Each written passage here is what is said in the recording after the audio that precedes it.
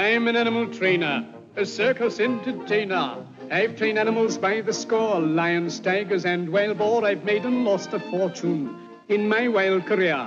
Some say the cause was women, and some say it was bear.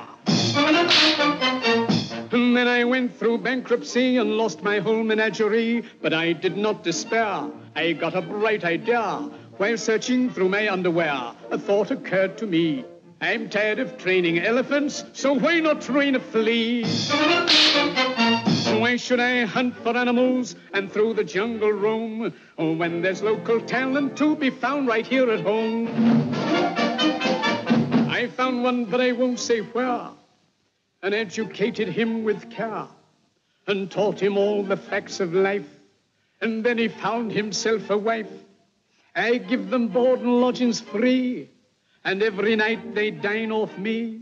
They don't eat caviar or cake, but they enjoy a good rump steak off my anatomy, off my anatomy. It is an odd sensation when after meals they take a stroll around the old plantation. Now I'm as happy as can be. I've bought them lots of tricks, you see. And now they're both supporting me, they're both supporting me.